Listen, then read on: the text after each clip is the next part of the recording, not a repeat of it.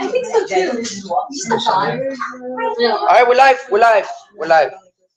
All right. Now, careful. Tell me where. There we go. Memo, she like moves her leg and then goes. I'm recording. All right. All right, guys. All right. We're gonna go over. Guys, down. I know you're excited because we're on air with Memo. Okay. So, um, first things first. Baby, baby, please, please. No.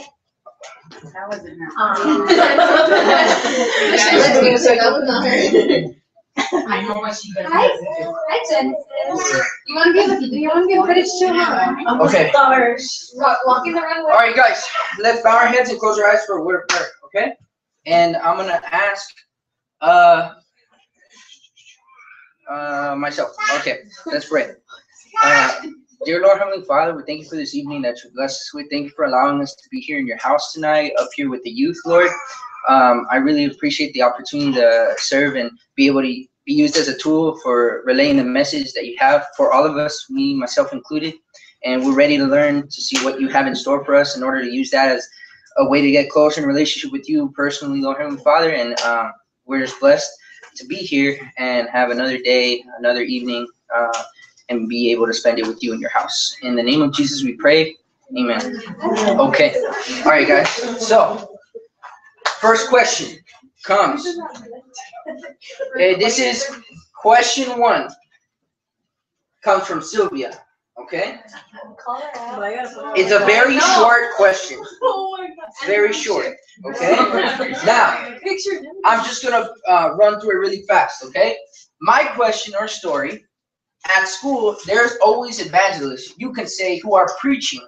I know we've talked and discussed this and how to share the good news of Jesus Christ by yes, acknowledging that we are sinners and have sinned against Him, but that through His glory and mercy we are covered in the righteousness when we accept Jesus as our Savior, because He died on the cross for our transgressions, like in a positive way.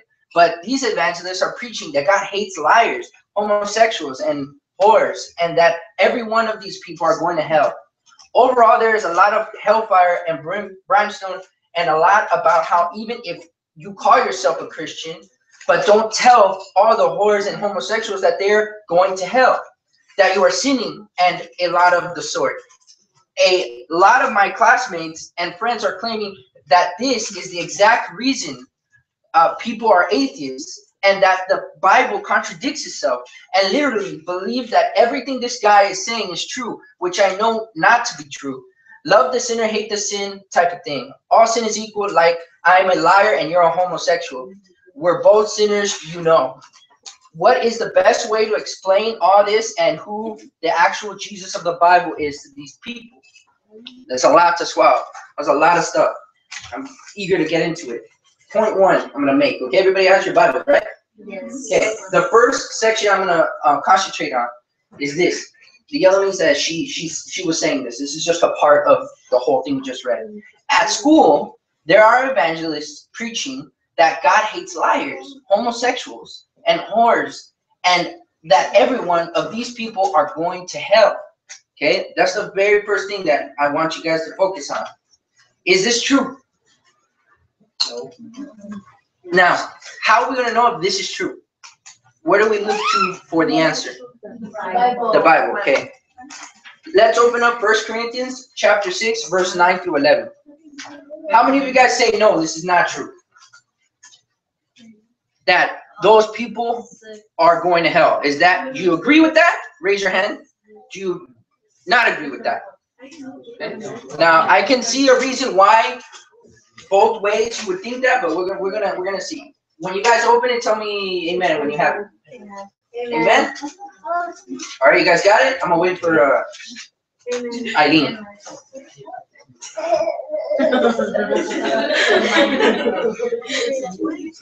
You guys got it? All right. Now, we're gonna read six to ten. I mean nine to ten. Okay, chapter six of First Corinthians, nine to ten. You read it there. I have it up here. Or do you not know that wrongdoers will not inherit the kingdom of God? Do not be deceived. Neither the sexually immoral, nor idolaters, nor adulterers, nor men who have sex with men, nor thieves, or nor the greedy, nor drunkards, nor slanderers, nor swindlers will inherit the kingdom of God. Now, what are the two big things that they were saying that oh they're saying that people are going to hell? Homosexuals and whores. Basically, you know, those two things are up there. In one way, they're up there. One straight out, the other one is within a couple of them. You know, so now the it says they will not inherit the kingdom of God. What does that mean? Plain and simple. This is not a trick question. They're not going to heaven, right? But watch. The answer is yes. It does say this. But does this telling people, does telling people this right off the bat, somebody that doesn't know God, yeah, telling them right off the bat in this way, you've seen really help? Does this really help the cause of spreading the word of God? You think if you go out and just start, hey, you're going to help because you're this, this, this, this. No, right? It isn't. But we can't say that it's not in the Bible. It's in the Bible. But this is what happens. No, if anything, it hinders the spread of the word. But wait, there's more. Because I told you guys to read verses 9 through 11. That was just verse 9 through 10. Sure, verse 9 to 10 sounds pretty bad. It's the truth. You know, those those sound like pretty whoever all that list of people were that those I mean, and you know we include ourselves in that because we're one way or another greedy, idolaters, um, sexually immoral, we're thieves. I mean, who's not so and so, who's not lying, who's cheat stealing? You know, I don't get Laser's like right here. You know, it's your first day here and you're a whole person. but look, to the passage, to the passage that is verse 11. Danny, can you read verse 11? And that is what some of you were. For you were washed, you were sent, sanctified, and you were justified in the name of the Lord Jesus Christ and by the Spirit of our God. Keyword. Word. Okay? That's huge. Why do you guys think that's a huge word in that sentence? Immediately after that list of horrible things these people are. It's past tense. It's past tense. And if you were that, what does that mean of you now? You've changed, right? You are no longer the way you were, right? Yeah. It says means that you have what turned from those ways, which equals what is that thing I've been teaching you guys? What it's like Jeopardy. This is the answer. You need to figure out the word. Okay. What is uh to turn away from your sins? What does that mean? No, that, no, no, no. Maybe I'm not saying it right. Doing this blank is turning away from your sins. Yeah, what, what, Danny? Come on. Repentance. Oh. That's repentance. Repentance, you guys. So it made a big list of all those things that, um, you know, we're right. Hey, drunkards, slanderers, this and that. Those people won't inherit the kingdom of heaven, but yet they can if they repent. So when you repent, you are no longer judged by those actions anymore. It's judged by the actions Jesus did because he sanctified you, he washed you of all those things that you were. But you need to repent so that you can be covered and sanctified and washed of those things and be able to inherit the kingdom of heaven. A lot of people stop at that one list. Oh, you guys are all going to hell. You're doing this, but they, they kind of like stop right there. And, hey, listen, read the rest of it. The verse 11 is the most important part, I would think. It's saying, but you were that. Now, you somebody will ask, okay, well then how can I get from being were that? Well, you gotta then you explain them. You gotta you gotta turn away from what you're doing. If you do that, guess what? You're gonna go to heaven. Sure, you're that now, but the intent, the thing that people get a lot is when they're hearing preachings and people on the street with megaphones and all that stuff. Hey, you're going to heaven. They don't. They think that that's it. That's all hear. Like that. That's it. There's no way out of that. Oh, I'm going to hell. This and that. It, of course, later on they're like, but if you accept Jesus, oh, but by the time they hear all that that stuff first, you really think, man, come on. It's like somebody going in your face for the first time, first impression, saying that you're ugly, you're this, you're that, you're that. You want to be my friend? You know, like don't know. That doesn't make sense. So, um, point two. Okay. Now, you guys agree? That stuff that people say on street corners and stuff, it is biblical. It's in the Bible. Don't say it's not. But there's a key part, and that's reading the rest of it. That, that was just picking out a chunk of the Bible. You gotta read the rest in context, and and there is a way for those people to inherit the kingdom. Okay, so now point two. This is something else that she said, uh, Sylvia.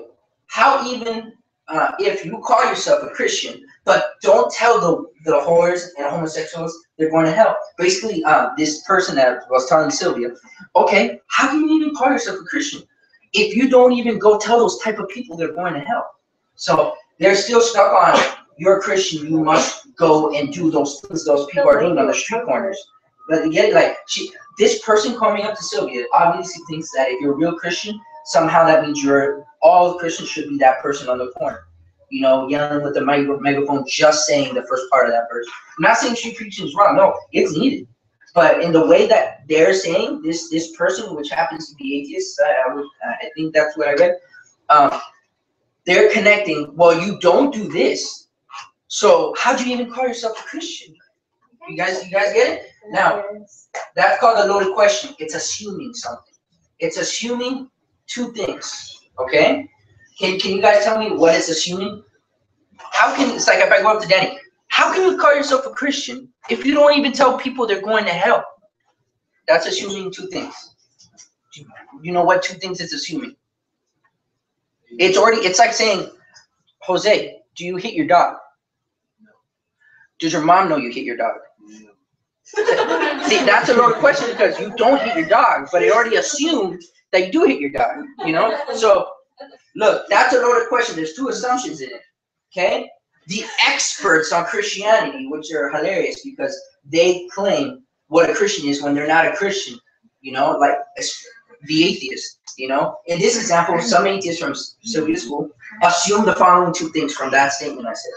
One, that we don't tell people they're going to hell. That's not true. This church, we do explain to people, hey, exactly what I just told you. I just told you right there. Those people are not going to inherit the kingdom of heaven. Okay, they're not. But I didn't stop there. I kept going and explaining, right? In the right way. I didn't just go, hey, you guys all suck. You're going to hell. God doesn't love you. No, I didn't say that. Okay? I, you know, we do. So they're assuming we don't. They were assuming Sylvia doesn't go out and do that. Okay? Or just say that they're going to hell. So that's assumption number one. That's not true. Second is assuming that if we don't tell people, that somehow doesn't make you a Christian. So you're saying they're assuming if that it's like a defining factor. If I don't go and tell people, let's say I don't, which I do because I just told you right now, but if I don't ever tell anybody they're going to hell, that doesn't make me a Christian automatically. No, no, you guys all know that. What what is the number one key to getting to heaven, to inheriting the kingdom of God? Re- yeah, repenting and what? Accepting Jesus in your life, right? Now, there's a lot of stuff that goes on with that that will make back up your faith. Obviously, you'll have fruits. You obviously do things the way Jesus told us to in Christ-like life. That's what a Christian is. But literally, you know, if you don't ever tell somebody that they're going to hell, that automatically doesn't make you a Christian. It's just it doesn't. No, one is not contingent on the other one. They don't both need to be there. I can't say I'm a Christian and I need to go do this because remember what I told you guys in so many lessons and in the videos I've taught. Our faith is not like a religion. Our faith says we don't need to do anything. It's all what He did for us. That's why He died on the cross. Because if He died on the cross and and we still need to go out and do something, that means what He did was worthless because it didn't reach enough for me to still have to go do things in order to be saved. You get me? It still requires me to do things. Being a Christian means you don't need to be perfect. He knows you're not perfect. Doesn't mean you shouldn't strive for perfection. Doesn't mean you shouldn't do good things. God, that that comes along with being accepted. You know, uh, ex, you know, accepting God as your, as your savior. You know, Jesus. You should go do things. It backs up that you actually what happened in here was act, actually happened. You know, doesn't mean you can go do bad things. It's not a ticket of sin. You know, it's like um, it, it was funny. There was this uh, Facebook post I saw. It was really sad. It said, uh, "Who loves Jesus and uh, uh, but can but will still curse you out?" No, yeah, like it, it, and and it was like in a way that was very prideful. That doesn't no, that doesn't make sense. You know, guess who loves Jesus? Basically, guess who's a Christian, but I can still cuss cuss you out. No, that doesn't. No, Jesus didn't live a life like that. Okay, it's not a ticket to sin. Hey, I'm saved, so since He saved me, you know, and He has all this forgiveness, I'm gonna go ahead and just sin it up, man. No, you guys know that it's already, it's it's you know a replay for you. Okay, but um, a lot of people think that because you don't do something physically, that somehow Jesus didn't save you. So not saying people are going to hell makes it, oh, Jesus, he couldn't have died for you because you need to say you're not going to hell, you're going to hell to some people. No. Okay? It says there now, this person that talked to Sylvia, their main tactic or goal in how they were arguing, and you're probably gonna have this come to you like people, friends at work, at school, you know, when they come up to you and they tell you something similar like this, hey, but you don't go and you tell you don't go and tell people they're going to hell because of this and this and this. You know, that person was attacking how Sylvia spreads the word. Their goal was to attack, hey, how can you be Christian if you don't do this? And what the thing was was about saying spreading the word. Okay, so that's what we're gonna focus on. Oh dang it, I had it all out of order. So we don't tell people we're going to hell. False. We do and then assuming we don't tell people that somehow you're not actually a Christian, and it says that's not true. That's impossible. anyway, guys, come on. All right, look, look, look, two common strategies for spreading the word. Okay, this was her whole thing was about spreading the word. The person was attacking how she doesn't go and street preach with the megaphone and do all that kind of stuff, you know, in a negative way if, if you guys notice, this person that Sylvia's talking to, and this is sad, has a very incorrect view of what it truly means to be a Christian. It's very distorted, you know, and and that's what we need to. Here. Pause. I like this way. It's okay. Oh. Because we're live on YouTube right now, Andrea. Okay. That's Boost Mobile. Metro PCS gotta advertise for me now. All right. Now look. Uh, gosh, now I lost track. What was I saying, man? I was saying. Uh, what? They were trying to attack. No, spreading the word. I'm spreading the word. Okay. Look. Unless she had a wrong view of like. Oh yeah, the people had a wrong view of what a true Christian was. They label. That's why I hate it when people are like, uh, you know, they take one Christian that's not doing the right stuff, or supposedly a Christian not doing what they're supposed to do, not being Christ-like. You know, that affects so many other Christians on spreading the word. It hinders us. You know, so these are the two common strategies of spread, spreading the word. Okay the law focused strategy. Now, this is not just two, there's a lot of ways. I'm just focusing on, on these two common strategies. There's the law focused strategy and the gospel focused strategy. I'm gonna enlarge this next time so that you guys can see, okay? So uh, I'm talking to my viewers, okay? One viewer? Look, look. One viewer? Abby, hi Abby. And Not- Sylvia too. and Sylvia, hopefully. All right, look. Wait, listen. The first strategy is the law focused strategy.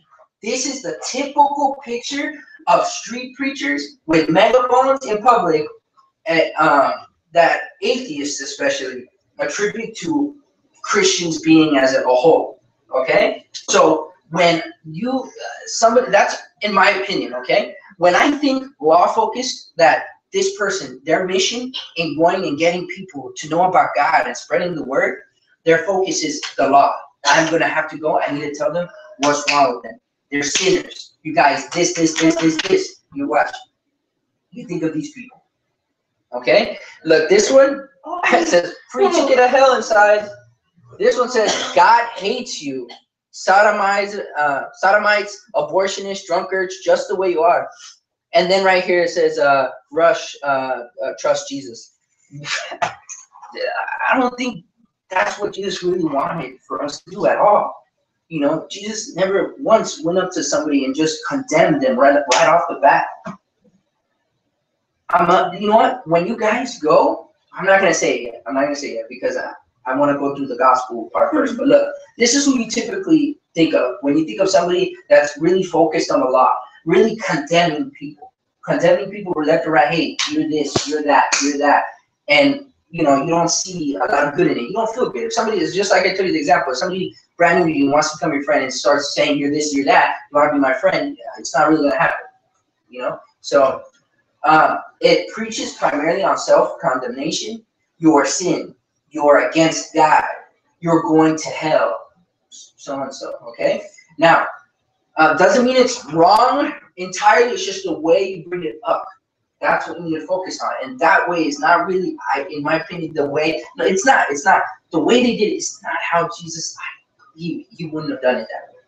You can tell somebody that, but it's in its time because the point is you're you're not out there to go and, and tell everybody you're going to hell. You can't come with me to heaven. Oh no no and keep them there. That sounds like you're gonna you're, look we got this group you guys and us who are going up to heaven you know? It's like you don't want them to come with you you know? You want you want them to come with you. So you got to speak tenderly to them. You got to speak passionately. You got to speak with a kind heart. And then later you know but anyway the gospel focused strategy is typically the picture is most Christians who don't really street pre- preach, but speak more at a personal level rather than public.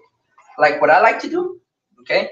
Um, and I, I literally did it today at work, one on one with like, I know you guys did it a few times, but like at work, I'm not out in public yelling and screaming. You know, I'm not saying that that's not good, but I feel like at a more personal level, if I'm talking to somebody, you know, and I'm asking them their views, and I, I gives gives me the opportunity to share my views and explain to them why I I have the kind of relationship I have with my God, and you know, hopefully they would see you know my passion for Jesus, and I'm not I'm focused more on what He did for me, you know, what He did, His love, His you know unconditional you know love, His forgiveness, what He did for me. It's not about my sin against Him. It's not about what I did, you know, my sin, what I need to do. It's not focused on that. You know, it's focused on what he did for me. And then since I'm not focusing on what they're doing wrong, they're seeing how passionate I am about my God and what I'm doing, you know, in a relationship with him. That's more attractive for them to inquire more about what it is to be a Christian than it is if I were to start the conversation. Well, you know, you're a drunkard, you're a liar, you're a cheat, you're a, you're an idolater, you're this and that. That's you guys know it's just pretty so uh, preach look this type of focus preaches primarily on selfless love jesus. His life how he lived his love his sacrifice okay? His kingdom in heaven okay? Now i'm not saying you go out and all you do is gospel. All you do is gospel. No no. You need to have a balance okay? And as a teacher of mine in high school taught me, you know, uh, you have to have a balance between the two. You know, you have to have both law and gospel because technically, it's like saying, you know, um, you can't be saved if you didn't know you needed saving. You get me? If you didn't know you needed saving, why are you gonna call 911? You know, you know that's it's why you're gonna call you know God. You know, you, you're not gonna need it if you don't think in need. Okay? So you need to have a balance of the two. You can't have law without gospel, you can't have gospel without law. Okay? You can have, you can, the world does a good job of having either or, but not both. And when they do that, you're blinded. You're, it's like seeing, you know, and not hearing, you know, or something. Doesn't matter. But it's like going It really and you can't see the whole picture, you know? You can't see the whole picture. You need to see the whole picture because there's, like I told you in the past, um, my now, you know, uh, I was an alumni at Pacific Lutheran High School, and my teacher, Mr. Fitzgerald, was teaching that. And then I had I brought up this um, this pastor that's on TV. I'm not going to say his name, but this pastor that was on TV, and uh, he, you know, he's very famous, very big, but he's very big on just gospel, gospel, gospel, gospel, gospel, gospel. He he never makes it a firm, hey, but you guys, if you don't change your lives and what you're doing, you know, you're doing this, you're sinning against God. You're doing this stuff. You're basically turning away from what He wants you to do. It's like a slap to His face. If you don't realize you're doing that stuff, you don't feel a heaviness to your heart and a need to start doing things differently for God. You know, and this this this preacher would never talk about that. He would always be happy, happy this, do this and oh these are seven ways or however many ways to get your life you know uh have, you know be successful or this whatever okay it got to the point where this pastor and i showed you a video you guys probably remember um, for the most part and the video was him on a on a show. It was actually larry king live i believe. And um, my my teacher in, in high school showed us his principal now at that school. Really really good really good teacher. He taught me a lot uh, theologically and everything. But he, he showed me the video and I was I was shocked because the pastor was brought up by this guy, this interviewer, Larry King. He said, you know, okay, so are you saying if you don't believe in Jesus, you're going to hell? You know? And he couldn't say, yeah, that's true. He just said, you know, what, I'm not willing to judge this and that. I'm like, oh my gosh, that's such a clean cut answer. Yes, you are. But because we want to appeal to everybody, no, no, no, no, no, no, that's the truth. But guess what? No, you, what I would say, yes, you are, but there's a way not to. That's the message of, the, of, of Jesus. There's a way to inherit his kingdom. He did something for you, so you don't have to suffer going to hell. It's not about you're this way, there's no way to change, therefore you're going to hell. No, there's a way. You got to put your working in repenting, turning away from what you were doing, and he will cover you and wash you of all the things you've done. Okay? So you have to have you have to have a balance of the two. Both strategies need to point. This is the part where I told you I was to wait. Now, when I was showing you guys the signs of the megaphones, the people that were preaching and all of that, and then versus somebody that doesn't want a personal like example when I was talking to my coworker about that. Okay.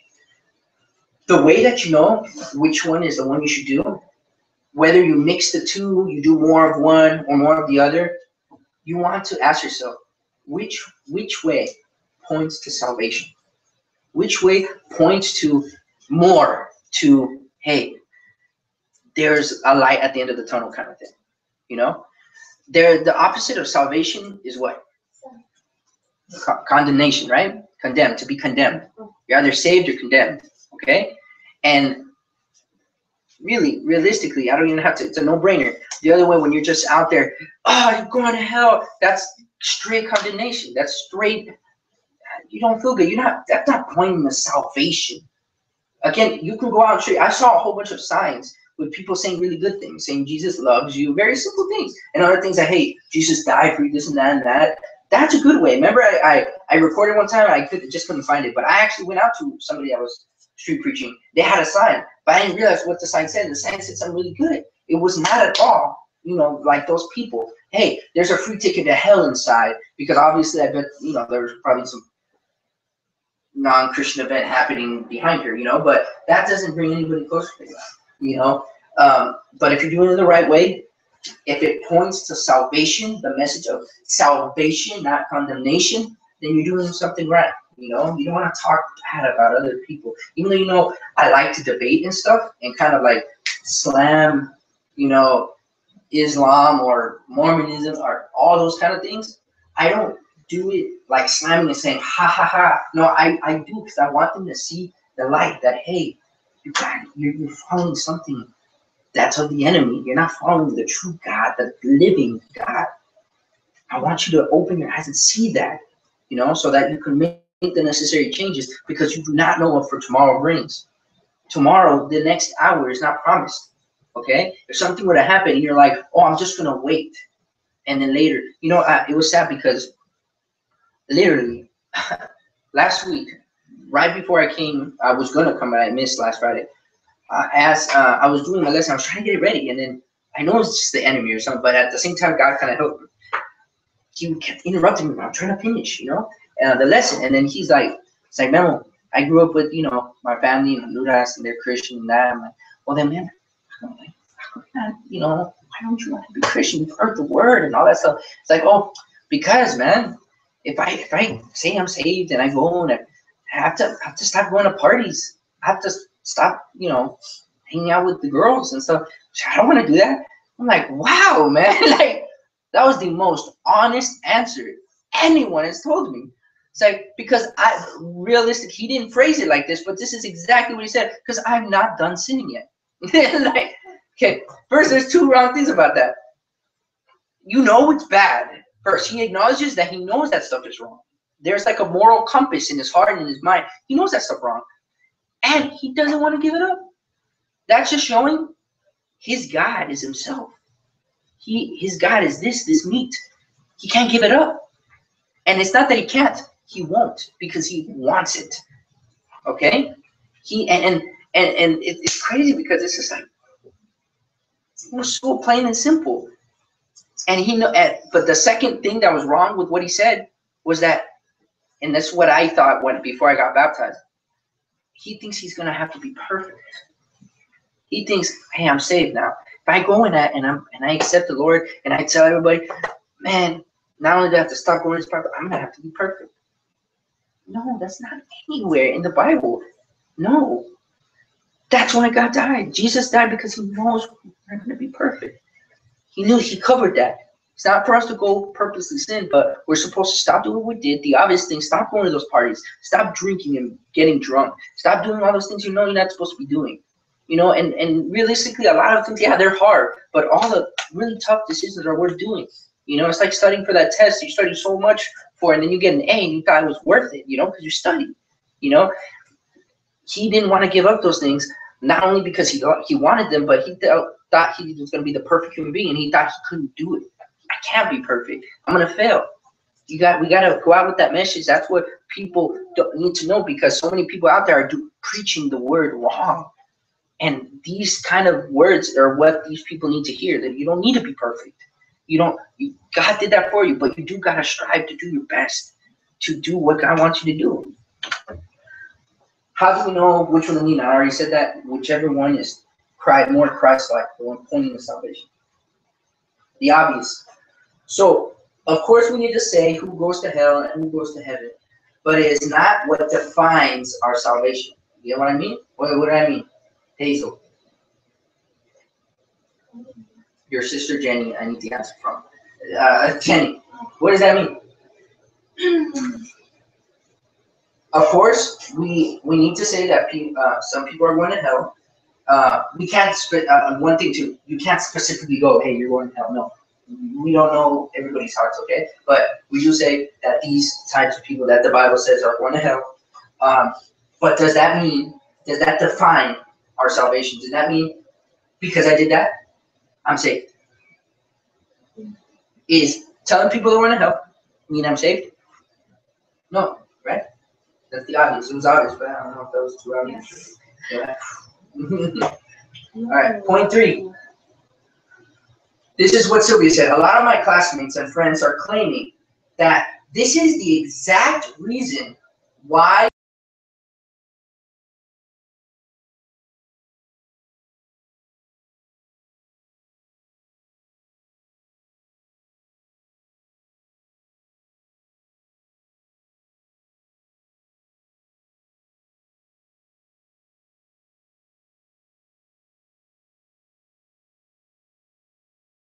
people aren't Christian is because they say that the book contradicts itself.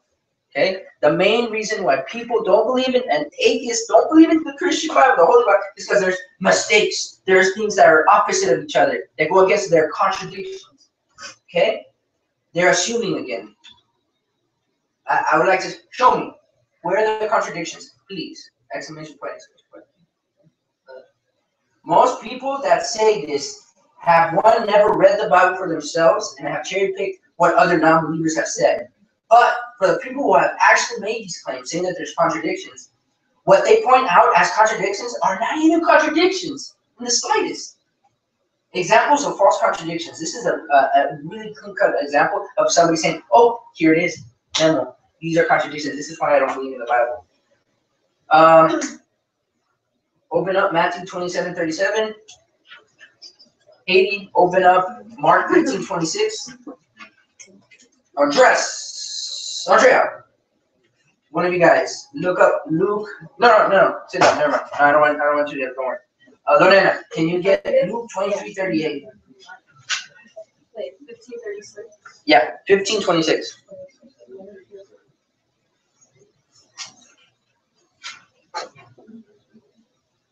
Hmm. All right, who got Matthew 27, 37? Who did I say to get down?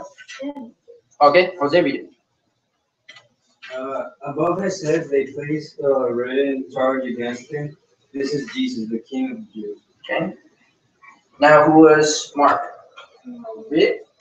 The written notice of the charge against him read, the king of the Jews. Luke. Lorena? Jesus turned and said to them, daughters of No, Jerusalem. no, twenty-three thirty-eight. Like, Luke twenty-three thirty-eight. oh, Sorry.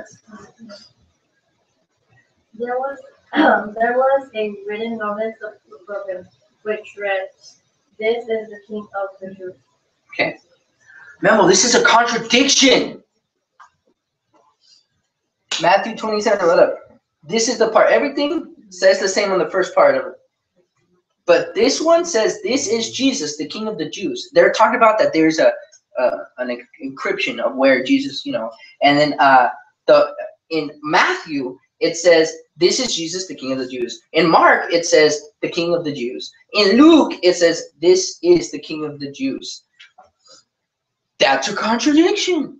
Oh my freaking goodness. Are you are you kidding me? Are you kidding me? Like this is a plain description description of what a freaking sign says at Jesus crucifixion. You're gonna tell me you're hanging the whole faith of Christianity and you're what if Christianity is right? What if it is? And you said no because of that, because of a sign and the wording of it. That's not a contradiction. They're all saying the same thing.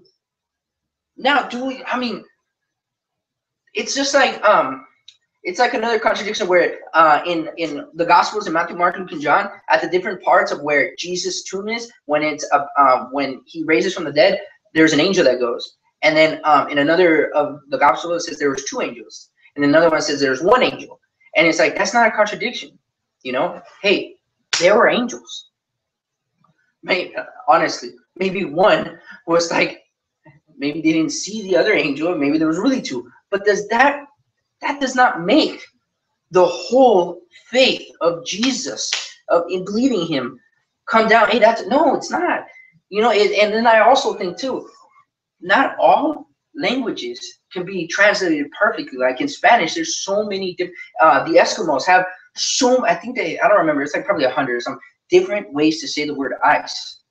We have one way, ice. You know? In another language, you say so many different ways, the same word that we say. So who's to say that didn't happen here? But guess what? It still says the same thing. Out of all of them, you can get out. Well, Jesus was the king of the Jews. This is uh, the king. This is the king. Come on, man. You, really? So, takeaway. Those who are looking for contradictions may therefore say, see, the Bible's full of mistakes, and choose to reject it entirely as being untrustworthy. The godly base uh, their confidence on two truths. This is how we base the truth are, are in the Bible, okay? What we believe. Number one, all scripture, the word, this Bible, okay, is in, is in inspiration by what given by inspiration of God, meaning it's God breathed, breathed. God used through people to write His word. Okay, this is the literal word of God, and I invite you guys all at the California uh, Science Museum. They have the Dead Sea Scrolls there, and it's amazing. I, I, want, I want to go. It's the, one of the oldest manuscripts of the Bible, and it was found. And you guys should look it up. It's like literal, like it's ancient and people have translated it's exactly what the Bible today says. So nobody can be like, oh, it changed over time. We don't know what was the ri-" oh come on, that's over years. Even though it might not be the very first Bible, that's years and years and years. That's ancient. For it to still be the same, that's incredible. But we, as Christians, believe in two things: that um, the Word of God is inspired. Um, the Bible is the inspired Word of God. Okay, and it says in Second Timothy three sixteen. And two, this was all I got off of a website that I liked what it said. Okay, look, it says two. God has deliberately included seemingly seeming contradictions in His Word to snare the proud. He has hidden things from the wise and prudent and revealed them to babes. Luke ten twenty one. I didn't say he put contradictions in there. What does it say? Okay, they look. Why would God do that? Why would you? I'm not saying this is uh, this is like an opinion of somebody, but I, I kind of believe that because remember this, First Corinthians 1:27, we just went over not too long ago. But God chose the foolish things of the world to shame the wise. God chose the weak things of the world to shame the strong. Now, He picked the foolish things. The people that God wants to follow Him are those who are willing to humble themselves, to bring themselves down, and look up to Him in reverence. Hey, everything, all glory to God. Not the people that think they're all proud and this. I did it. I this and that. They think they're wise and they know everything. God says those type of people, I don't want. I want somebody that's gonna submit to me, love me, knowing who I am. So he, I would, and this is funny, he would put something like the two angels on the one angel, the encryption of the King of the Jews, the Jew, the Jesus, the uh, King of the Jews, the Jews, the King, whatever. Those little things to make these kind of people look stupid. like, look, they get bogged down on things like that. It's gonna shame, make the foolish things do such a little thing. Shame the wise. It says it right there in the Bible. So when this guy, in, in when I looked online, says he included it uh, to snare the proud, he has hidden things from the wise and revealed them to us, to the people that are willing to humble themselves not saying the wise can never inherit the kingdom of God, but the, the people that he claims wise need to bring themselves down and understand, hey, it's because of God, you know, and not because of their own knowledge, you know. So um, I, I thought that was pretty cool. Okay, that's what you should take away from that, the contradiction thing. Okay, Jeremiah 29, and let me just share something.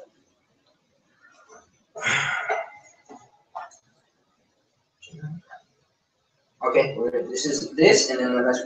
A huge reason, ultimately, why people don't believe in God, or they try and try and they just can't, they refuse to believe in, is because, or they say, I've tried to look for God, but I can't find him. In Jeremiah 29, 13, it says, You will seek me and find me when you seek me with all your heart. Again, one of my principal, Mr. Pichier, he, he, he did this one time. He went outside of the room, and uh, I believe there was like um, we had a classroom that had like a room and another room connected. Okay, but they were separate rooms. He said, "Pretend I'm God. I'm right here." And let's say Alasia is looking for for God for me, right? She barely comes into the room, and I go into one of the other rooms. She's saying, "I don't see God here." Then she goes into the far room that that, but and then I come back out of that room, out of another. Room. She's like, "He's not here." Then I quickly go into another room while she goes into the room that I was in it's not that God doesn't exist. It's just she couldn't find him. You know, that was kind of an example. Like, if you want to find him, you gotta continuously try to find him with all your heart. If you don't, just because you didn't find him yet, doesn't mean he doesn't exist. Okay, he exists. It's just he only brings himself to you if you search him with all your heart, because he deserves no less than that. He deserves complete 100%. Okay, just like in a relationship with Andrea and Andres, Jackie and Danny, do you guys ever want a relationship with your, you know, your significant other, half-hearted? Do you want half of Danny's heart? You know, and Danny, the other half would be like with whatever you like to do. No, would would you want half of her heart? No, same thing. Do you want half of her heart, Andres, and the other half be Boost Mobile? No, right? no, man. Same thing with you, Andrea. And more for girls, I think, because girls have a really strong. Yeah, you're clingy. Yeah, but do you want half of Andres' heart? Would you have wanted him half at your wedding? No, right? You want to be all there, you know. So um, anyway, that's how God wants us to. That's why some people they can never find God because they're never fully heartedly searching for Him. The big question then is, is it what is the best way to explain how this and who the actual Jesus of the Bible is to these people? This was the last thing Sylvia said. What then? How can we explain? Now, look, there's not really one answer I can give to this, okay? Uh, because every situation calls for different types of action. The best way, in my opinion, is to address such a person as in Sylvia's scenario, would be to first respond to exactly what the person is misinformed about. So in this case, they were misinformed that we don't tell people they're going to hell. They're misinformed that that makes you a Christian if you do that.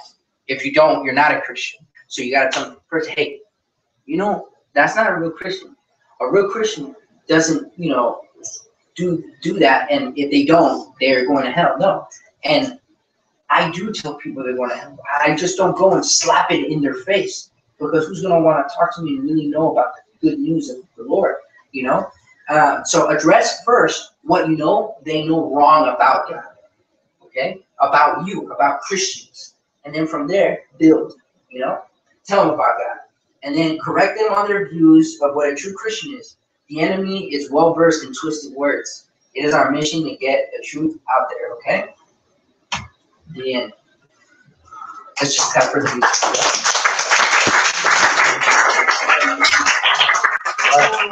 All right, guys, and before, I want to show you guys.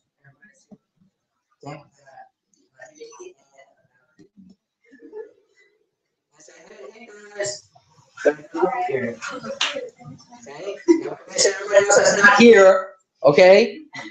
All right, guys, say bye.